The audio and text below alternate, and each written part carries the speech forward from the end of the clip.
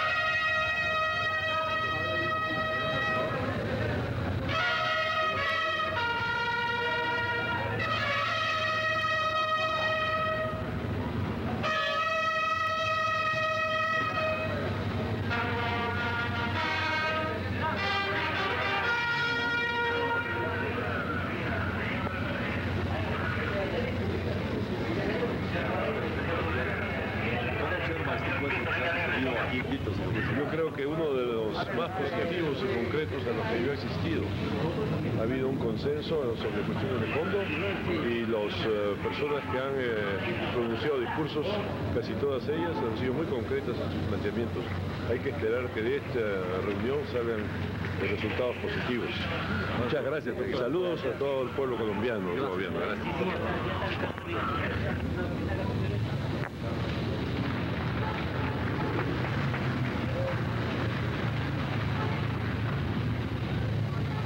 en este momento. Tiene un gran significado latinoamericano, como se ha subrayado en los discursos de los presidentes, y esperamos que resulte en una unidad cada vez mayor de la América Latina. Por favor, por favor. hemos avanzado mucho más que esto y hemos logrado coincidencias realmente muy importantes, que pueden traducirse en hechos prácticos y concretos para, nuestro, para nuestra región. ¿Y cuál es la posición argentina? Bueno, la posición argentina eh, nosotros debemos conocer reiteradamente, creemos en la necesidad de compatibilizar las políticas financieras de nuestros países, es indispensable hacerlo. En cambio, creemos en la inconveniencia de un frente único de deudores, puesto que las situaciones nacionales difieren enormemente en cuanto a la estructura de las distintas balanzas comerciales, en cuanto a los orígenes e impacto de la deuda en los diversos países, de manera que, sabiendo que las diferencias impiden frente... ¿Y alguna iniciativa anticiparía usted sobre eh, como posición de la OEA? Bueno, yo diría que la OEA va a colaborar en todo lo posible porque es el foro natural para el diálogo con los países desarrollados. Pero...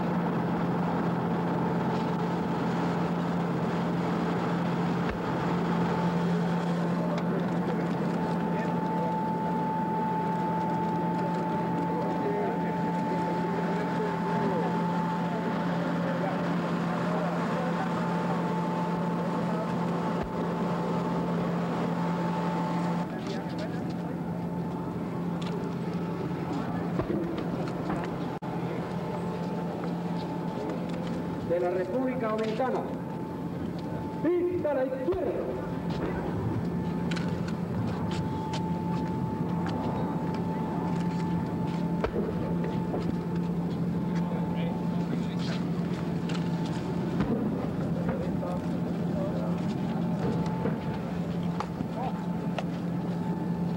Excelentísimo señor presidente, buenas tardes.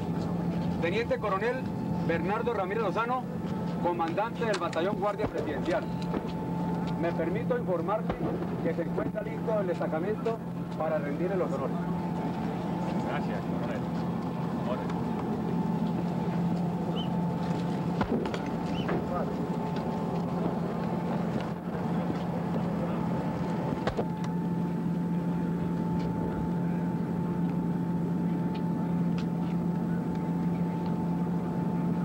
Destacamento, atención.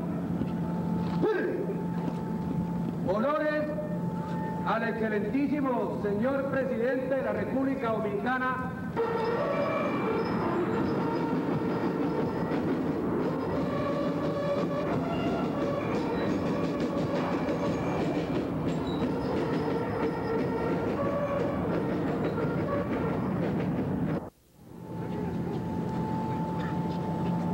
Excelentísimo señor doctor Salvador Jorge Blanco, excelentísima señora de Señores ministros de su comitiva, Dominicana, señores embajadores, señores miembros de los medios de comunicación, señoras y señores, señor presidente, llega usted a Colombia precedido de una muy justa fama de ser uno de los líderes de nuestro continente, uno de los guías del Caribe, ese mare nostrum de todos los latinoamericanos, la que otrora fuera calificada, un cielo es despectivamente por analistas, por sociólogos, por geopolíticos, como la gallera del Caribe, en el sentido de que era el sitio de confluencia pendenciera de las grandes potencias, durante años surcó un itinerario de reconciliación, de reencuentro consigo mismo. Hoy por hoy, signos de nuevo azarosos pretenderían convertirla otra vez en cruce de caminos, en sitio en donde los grandes intereses de las potencias querrían dirimir de nuevo sus apetitos desordenados. Usted ha sido en el Caribe y para América Latina entera uno de los guías más lúcidos. En cuanto a los temas que arden más en el otro del alma a la región latinoamericana, por ejemplo, el del endeudamiento externo de la región, el de las altas tasas de interés, el de que para cumplir los compromisos que la región ha adquirido en momentos en que el exceso de liquidez compelía a la gran banca mundial a ofrecer en desmesura, sin mayor consideración en muchas ocasiones a la capacidad de pago de los países, sumas exageradas, que por qué no decirlo, en ocasiones también eran aplicadas a actividades distintas del desarrollo, todo ello ha conducido a que el servicio de esa deuda en ocasiones tenga, obligue a sacrificar aún las actividades de supervivencia de nuestros, nuestros pueblos. Usted ha sido un guía lúcido y certero en las actividades de seguimiento del consenso de Cartagena, en la realización de las deliberaciones en Mar del Plata y en las que recientemente tuvieron lugar en su hermosa patria, la antigua española, usted ha puesto precisiones que vienen muy bien a la sindéresis en el manejo de estas cuestiones, pero al mismo tiempo a la cautela de los intereses de las vastas comunidades de nuestros pueblos, arrojadas en esa prisión sin rejas que es el endeudamiento externo de la región. Llega usted, señor presidente, precedido al mismo tiempo. De una muy bien ganada, de una muy justamente ganada fama de haber aplicado al desarrollo de los asuntos internos de su hermosa patria, sindéresis, prudencia, discreción, la mesura que el marítimo ritmo de la democracia establece en los demócratas. En estos momentos en que América Latina entera percibe el viento fresco de la democracia, que ayer no más en el Uruguay y dentro de unas semanas en el Brasil, y Dios se ha servido que dentro de muy poco en otras regiones establece los patrones de comportamiento de la libertad y, de la democracia. En esa América Latina que regresa a esa democracia y a la libertad, usted en la República Dominicana, señor presidente, con su excelente equipo de colaboradores, apunta siempre en la dirección de afirmar los parámetros de la democracia y de la libertad. Llega usted, señor presidente, con su admirable esposa, con sus colaboradores, llegan a Colombia, patria de libertad y patria de democracia, unida al Caribe, en el sueño que el gran hombre del Caribe, el libertador Bolívar, alentara para bien de nuestros pueblos. Sea usted bienvenido, excelentísimo señor. Sea bienvenido, excelentísima señora. Y sean bienvenidos los ilustres miembros de su comitiva a la patria en donde el libertador Bolívar soñara ensoñaciones históricas de libertad para nuestros pueblos. Bienvenidos, excelentísimos señores, a casa.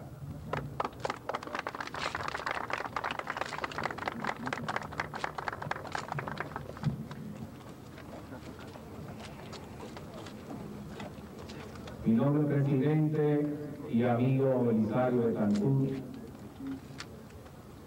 excelentísima primera dama de Colombia, señores ministros de Colombia, señores militares, hombres de la prensa. Cuán satisfecho me siento en unión de mi esposa y de la comitiva de los sectores públicos y privados de la República Dominicana en pisar esta tierra colombiana. Nos sentimos en un país muy conocido por su profunda historia, por su exuberante naturaleza, por su gran vocación americanista y también por su profundo apego a la búsqueda de los medios para resolver pacíficamente los conflictos dentro del mundo americano. No se me escapa que esta visita se produce en los momentos más dramáticos de América. Mi buen amigo electo presidente Belisario Betancourt con el verbo elocuente de los colombianos,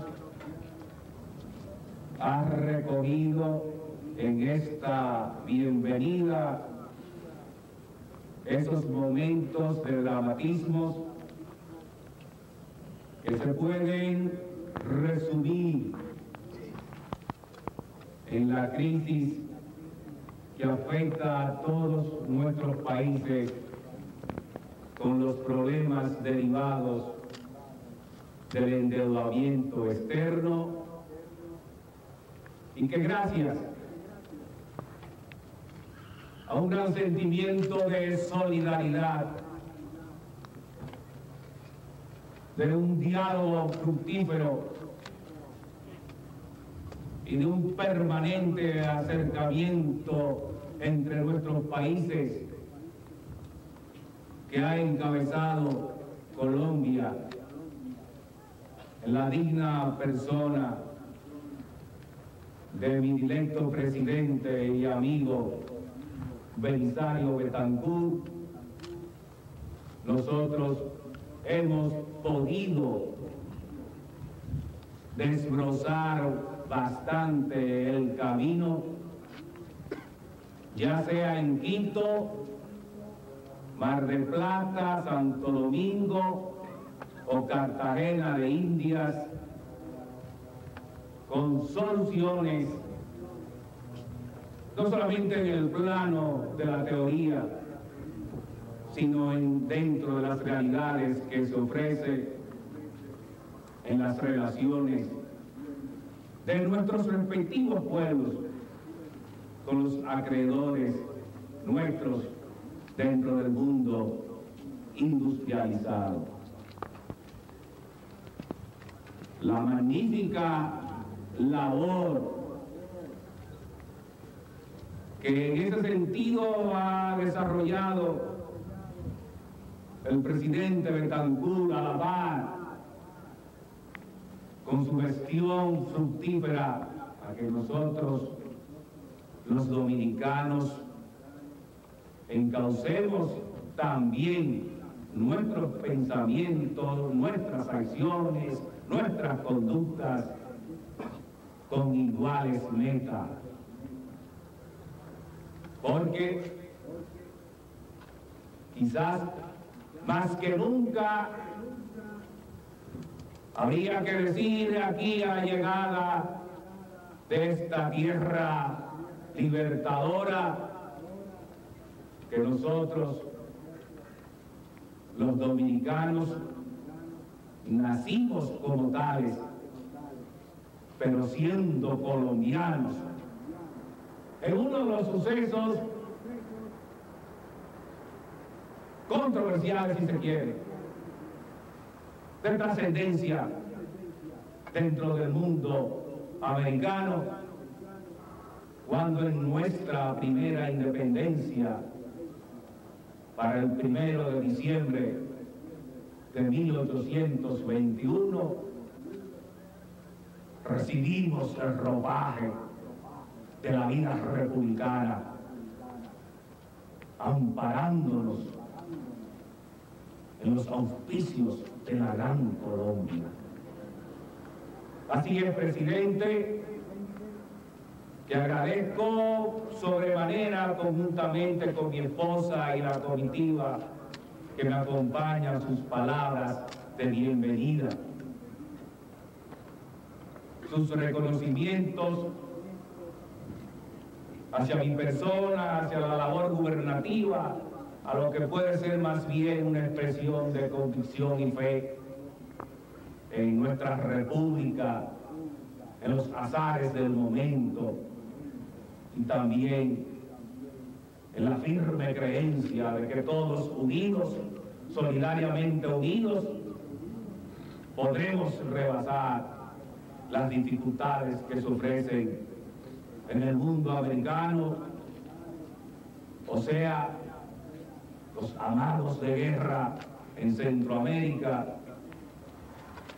lo que puede ser también una especie de quiebra del orden económico del mundo latinoamericano.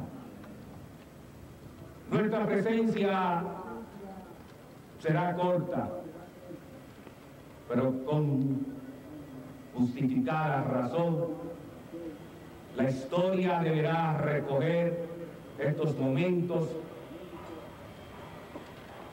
porque ellos representan una hermandad labrada en los orígenes de nuestros respectivos pueblos, de nuestra independencia y sobre todo que de esta visita deberemos aportar magníficos resultados a las relaciones de la República Dominicana y de Colombia y también de todo el continente americano. Muchísimas gracias, presidente.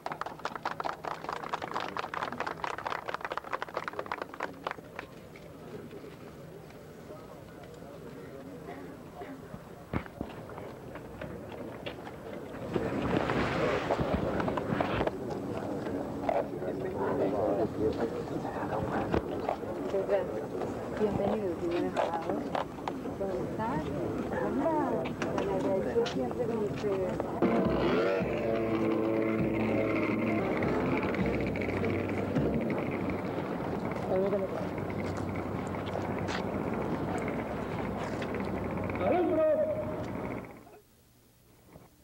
Presidente Jorge Blanco, encerrados como están, eh, digamos, dentro de lo que concierne a América Central, ¿qué opina de los últimos acontecimientos de pacificación mm, del grupo de contadora en la región latinoamericana? Ese grupo de contadora que ha contado con la participación de Colombia, encabezada por el presidente Betancourt, ha tenido desde el principio y tiene el apoyo pleno de la República y de mi gestión gubernamental, porque lo contemplamos en sus acciones como la forma predilecta de buscar la paz en Centroamérica, que es de tanta importancia para todo el continente americano.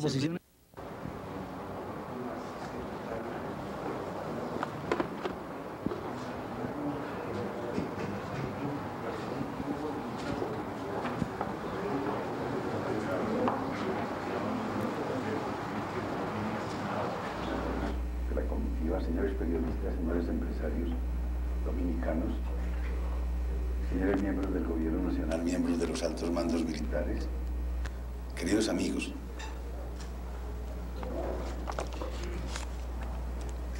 llega usted, señor presidente, de la cuna de América, ese lugar en donde comenzó la verdadera utopía, vecina de la realidad, encarnación de los sueños de la estirpe. Cuando el gran almirante de la mar Océana pisó el suelo de Quisqueya, no pudo menos que exclamar, esta es la tierra más hermosa que ojos humanos hayan visto. En la altura del Cerro Santo se daba comienzo a la epopeya del Nuevo Mundo. Centro primordial para la conquista había sido la española semillero del alma rebelde y libre de América. Miles de voces lanzaron allí quizá el primer grito de protesta de la América de India pidiendo la paz. Taínos, taínos, somos buenos, somos buenos. Era la voz del mundo primitivo frente al invasor, la voz que sería ahogada por años de dominación. En los siglos XVI y XVII, las guerras entre las potencias europeas repercutieron sobre el suelo americano. Nos tocó alta cuota de pérdida de vidas y la absorción de nuestras riquezas. Fuimos nosotros los encargados de cancelar la deuda contraída por la decadencia imperial.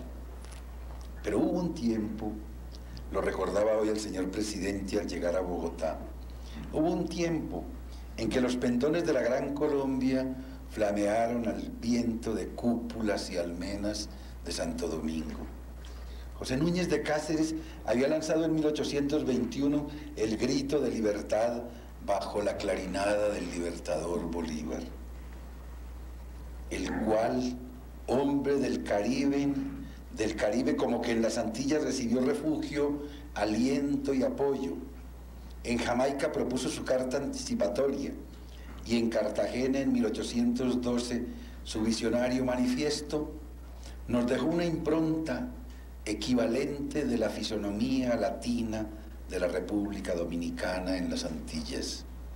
Nuestra vocación caribe, que nos lleva a robustecer siempre nexos con los pueblos que la agonía del colonialismo ha permitido nacer a la vida independiente. Al concluir el siglo XX, asistimos, señor presidente, a una versión moderna del mismo fenómeno. Polarizada la situación entre norte y sur, este y oeste. Los campos de batalla no son ya los océanos ni los puertos asaltados por piratas de que da cuenta heroica nuestra Cartagena de Indias, ni los convoyes cargados de metales preciosos hacia las metrópolis, no, sino la confrontación pendenciera de los grandes centros de poder. Solo que ahora somos nosotros protagonistas de la conciliación de intereses de dos mundos y nos corresponde conseguir el equilibrio que haga la tierra más justa y más próspera. Su patria y la mía, señor presidente, que se acogieron a la égida de Bolívar, discurrieron durante una centuria por caminos diversos, a veces antagónicos. Hoy podemos invocar iguales principios tutelares, ideales semejantes, esperanzas y utopías asimismo promisorias. Es su país, es su pueblo, lección histórica que seguimos con fervor. Enseña su historia que ni la muerte, ni el despojo, ni el cobijo de la protección indeseada son bastantes a sofocar el espíritu creador de una idea nacional que tienen usted, señor presidente, un personero de las más altas calidades morales y políticas. Se congrega Europa en torno al mar nutricio, al Mare Nostrum, escenario de civilizaciones orgullosas que desafiando el tiempo se prolongan más allá de sus fronteras. También nosotros tenemos un Mare Nostrum, un mar interior, cuyos caminos nos unieron hace cuatro siglos y hoy nos vuelven a unir como entonces en la proximidad de una cultura triétnica que conjuga el mito y la razón, las creencias, la sensibilidad y la esperanza. Desde hace más de cinco lustros venimos luchando por crear en torno a ese mar interior un espacio para la cooperación y la fraternidad. Ideamos formas nuevas de convivencia, una lengua franca que entre la pluralidad de idiomas nos permita hablar a nuestros vecinos en torno al calor del hogar.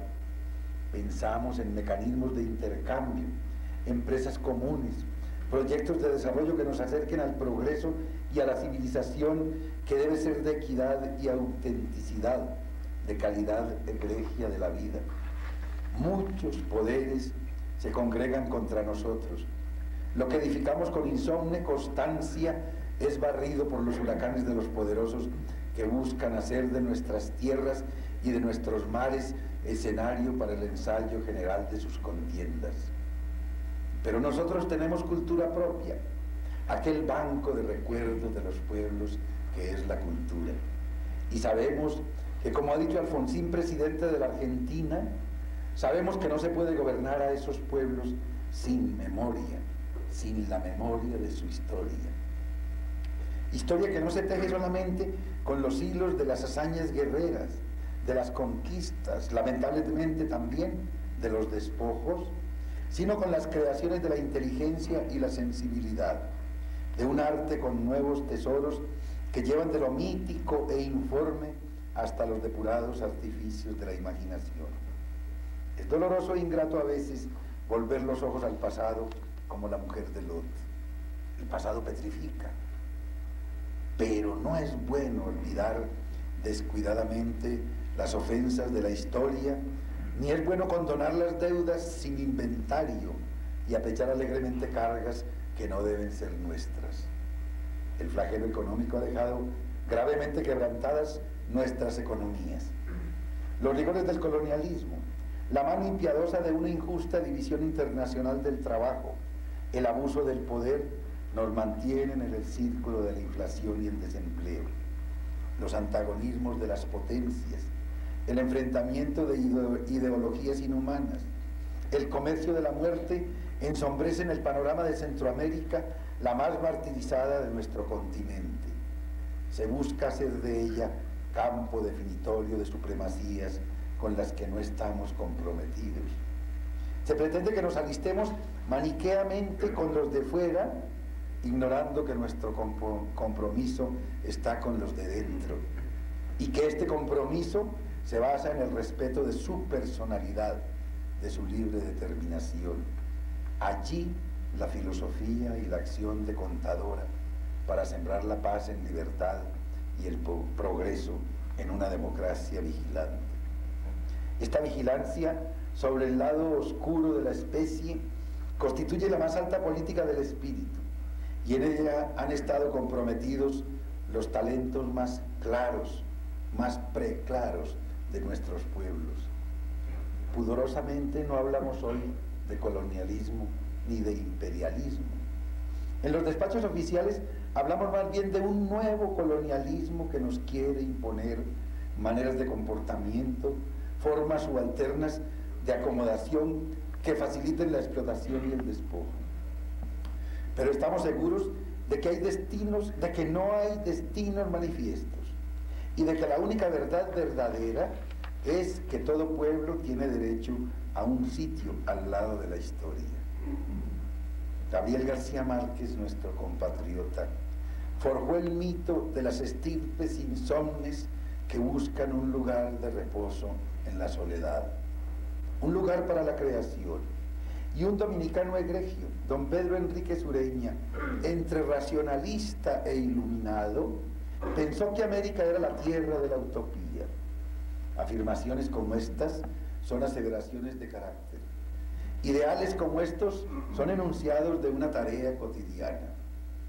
Si el espíritu ha triunfado en nuestra América sobre la, barbarie interior, dijo don Pedro Enrique Sureña, no cabe temer que lo rinda la barbarie de afuera.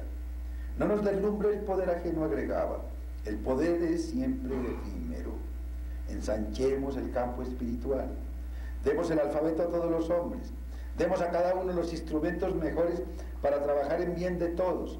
Esforcémonos por acercarnos a la justicia social y a la libertad verdadera decía, avancemos en fin hacia nuestra utopía.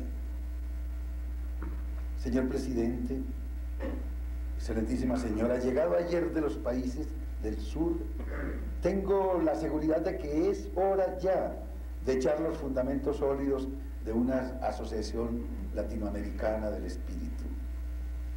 Desde el río Bravo hasta la Patagonia, nuestros pueblos han llegado a la mayoría de edad, a la mayoría de edad espiritual, y pueden, sin apelar a desmanes jactanciosos ni pendencieros, pueden afirmar una personalidad, su propia personalidad. Desde contadora queremos dar una lección de entendimiento y de racionalidad, de realismo en suma, una lección de respeto a la libre determinación de los pueblos, pero también de atención a la economía humana, a la preservación del recurso más preciado que poseemos, la vida de nuestras gentes. En la medida en que perseveremos en esta línea de conducta, podremos alejar el resplandor ominoso de una nueva conflagración, de una catástrofe sin remedio. Queremos trabajar en paz, con constancia y responsabilidad, pero no queremos ni podemos trabajar solos. De ahí que se imponga a nuestro momento histórico la tarea de hacer realidad el sueño de Bolívar, de forjar una liga de unión de los pueblos de Iberoamérica. Señor presidente, la República Dominicana y Colombia transitan juntas por los atajos de la historia, por senderos que llevan a nuestros pueblos a crear una fuerza moral, aquella de que hablara Leibniz y de que hablara nuestro López de Mesa, para que cesen los tratamientos discriminatorios de los países ricos hacia las naciones débiles, para que sean más justos los términos internacionales de intercambio para que las condiciones de nuestros compromisos monetarios no sean al precio de la supervivencia de nuestros pueblos, tal como usted, señor presidente, afirmara con elocuencia al instalar el grupo del consenso de Cartagena, cuya secretaría desempeñó certeramente su país. Tenemos acuerdos en numerosos campos y queremos que sean no formalismos ni formulismos, sino instrumentos de progreso, el intercambio cultural, la cooperación económica y técnica, el incremento de las corrientes turísticas, la delimitación de aguas marinas y submarinas, la cooperación marítima, el control de la droga. Vecinos como somos, señor presidente, por la geografía y por la historia, debemos ser vecinos también por el futuro. El espacio natural que habitamos debe convertirse en un espacio de espíritu, en un espacio de economía, en un espacio de política, en un espacio de la justicia, en un espacio, en fin, de encuentro para construir sociedades más prósperas y ojalá más dichosas. Señor presidente, estamos en la víspera de acontecimientos cenitales. Van a cumplirse 500 años de la gesta de nuestros antepasados. Ahora somos la amalgama de la fusión de la sangre ibérica con la nuestra aborigen. Somos una nueva fisonomía, somos un alma nueva que impulsará nuestra fuerza creadora. Será en 1992 el encuentro de nuestras culturas ancestrales. En este clima nos acercamos a la fecha histórica. Queridos amigos, el espíritu que alentó en Núñez de Cáceres y en Duarte es el mismo que inspiró a nuestro Nariño, al señor de esta casa y que confirió inmortalidad a las empresas de Bolívar. Sus caudillos y conductores y los nuestros lucharon por los mismos ideales. Hoy más que nunca, esos ideales están a punto de encarnarse en realidades. La utopía americana de que hablara Enrique Sureña anuncia el reino de la realidad. Evocando aquellas palabras tutelares, tengo el honor, señor presidente, de colocar en su pecho de estadista latinoamericano el gran collar de la Cruz de Boyacá que instituyera el libertador Bolívar y que establece el destino histórico de nuestros pueblos. Permítame, señor presidente, que invocando la memoria de nuestros libertadores a cuya sombra nos acogemos, brinde por el futuro de su hermosa patria y del gran pueblo dominicano, brinde por su señora esposa, doña Cela, brinde por los señores ministros, funcionarios, empresarios y periodistas que lo acompañan. Brinde, señor presidente, por sus afectos y porque la paz se afiance en el mundo, en América Latina y en el Caribe. Salud.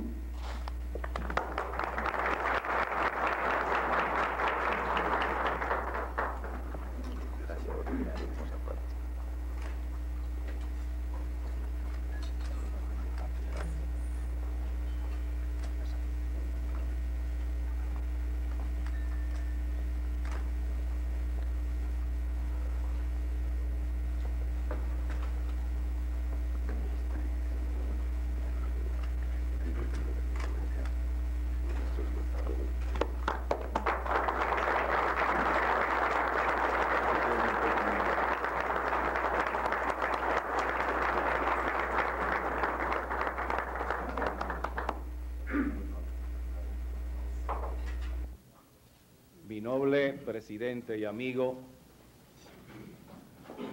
Belisario Betancourt, excelentísima primera dama de Colombia, doña Rosa Elena de Betancourt, señores miembros del cuerpo diplomático, señores funcionarios civiles y militares de Colombia, señores miembros de la prensa, empresarios, damas y caballeros. Mis sueños, mis ilusiones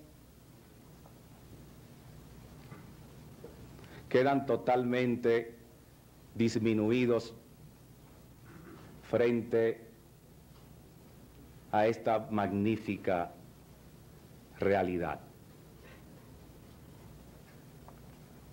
Recibir esta orden de Boyacá,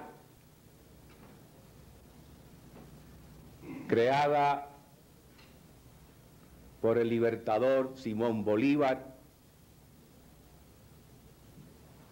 Es como si en mi pecho estuviera recibiendo la independencia de cada uno de los colombianos, porque ese es el gran significado que le atribuyo a Boyacá, que abre las puertas de la libertad y vale decir mejor de la independencia de Colombia o de todo lo que fue originalmente la Gran Colombia. Y con Colombia, como certeramente lo acaba de expresar el presidente Betancourt, la parte este de la isla de Santo Domingo, lo que es República Dominicana, tiene nexos que ciertamente en esta ocasión son necesarios hacer destacar. Porque fue desde Santo Domingo de la parte este, donde llegaron a esta tierra firme hacia 1499, los primeros colonizadores, descubridores, con Alonso de Ojeda a la cabeza, Juan de la Cosa, Rodrigo de Bastidas, y también en el camino se le incorporó a Américo Vespucio, que más tarde le da el nombre a América, y en esa llegada a esta tierra firme de lo que hoy es Colombia, se encuentran los primeros sedimentos de la figura del hombre que le da el nombre a América y que recientemente Juan Pablo II, recogiendo toda una hermosa tradición, ha bautizado con el nombre del continente de la esperanza.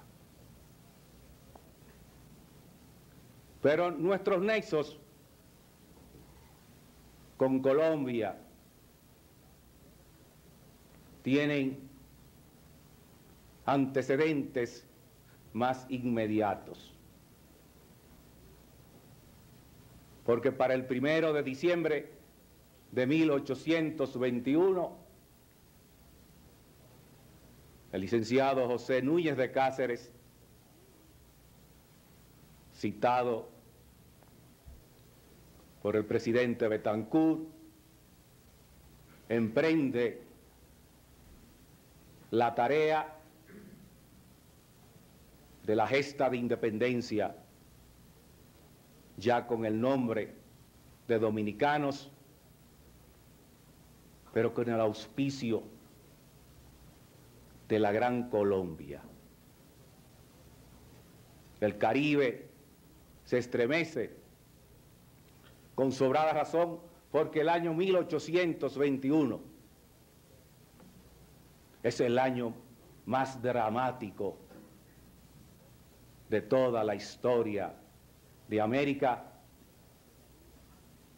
porque se rompen las cerraduras que nos ataban al imperio español sea desde México, pasando por Centroamérica, que en esa época tenía el nombre de Guatemala, y llegando a la misma Gran Colombia. Y era natural que estos aires de independencia repercutieran, sonaran en el Caribe y que el licenciado José Núñez de Cáceres intentara nuestra independencia, la independencia efímera, invocando o con los auspicios de la Gran Colombia. Que no se cuajaran estos resultados, que no fructificara este intento para nosotros los dominicanos y también para los propios colombianos. Sin embargo, el hecho histórico está registrado y ha ido colocando a Núñez de Cáceres dentro del propio pensamiento dominicano y con resonancia en América, es un gran visionario que interpretó, que se sumó a los esfuerzos que ya la espada formidable de Bolívar o su pensamiento unitario y organizativo comenzara a vislumbrar desde los distintos campos donde los pueblos uno a uno habían ido obteniendo su libertad con el concurso formidable de esta espada y de otras que se incorporaron al movimiento libertario de la independencia de toda América. Y vivimos ahora nuevos tiempos. Todo el sueño de Bolívar desde el Congreso de Panamá de 1826, poco a poco se ha materializado en muchos aspectos, dándole a su visión un contenido realista, porque ha sido también la propia Colombia, esta propia ciudad, donde surgen los lineamientos para 1948 de lo que ya modernamente es la Organización de Estados Americanos. Y ahí es que Colombia tiene una vocación americanista formidable y ha recibido el legado de Simón Bolívar, cuidándolo, sustentándolo acrecentándolo en toda la época moderna, rompiendo ciertamente con muchos de otros antecedentes que se registran dentro del continente latinoamericano. Y en estos tiempos en esta formidable nación con una democracia bien lograda, sustentada, donde la figura del presidente Belisario Betancourt ha ido todavía colocando a Colombia a las alturas vislumbradas para el siglo XIX, en estos tiempos, Colombia juega su gran papel, o lo juega en Centroamérica, tratando a través de contadora, conjuntamente con otros tres países más, de apagar el incendio de la guerra, o también lo juega en la búsqueda de nuevas y más justas soluciones, en la misma distribución de la riqueza, de manera que nuestros pueblos puedan enfrentarse a las agobiantes deudas que disminuyen o pueden hasta poner en peligro las mismas condiciones de la estabilidad democrática que disfrutamos en una gran medida y que se ha venido extendiendo en los últimos años paso a paso, con firme sentido dentro de todo el continente americano. Y para mí recibir esta orden de Boyacá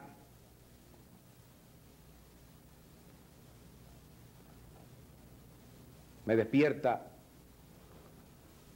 tantos y tantos recuerdos de la niñez que quedan desbordados por el mundo de esta grandilocuente realidad que nos ofrece el presidente Betancourt y su señora esposa. Muchas veces me he preguntado dentro de la figura de Simón Bolívar. ¿Qué puede haber sido más grande si su espada libertadora o si su fecundo pensamiento político que se proyectó en cartas, proclamas, constituciones, decretos que fueron dando a todo lo que fue la Gran Colombia y lo que hoy es Latinoamérica con sus repercusiones en el Caribe, un gran sentimiento de unidad, vislumbrado incluso en su famosa carta de Jamaica, donde hace una gran radiografía de cada uno de nuestros respectivos países. Y yo me he preguntado íntimamente y ahora hago esta reflexión.